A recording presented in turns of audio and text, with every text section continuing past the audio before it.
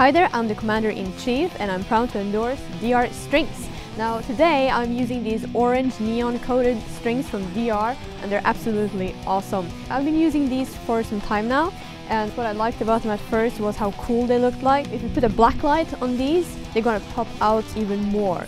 But even if it's just normal light like it is now, it looks really cool.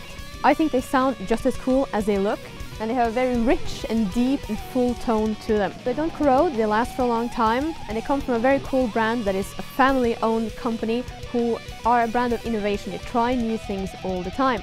So if you guys want to check out some really cool strings that have a great tone to them but also unique look, like your guitar will look like one of a kind, then go and get these ones. DR Strings, check it out.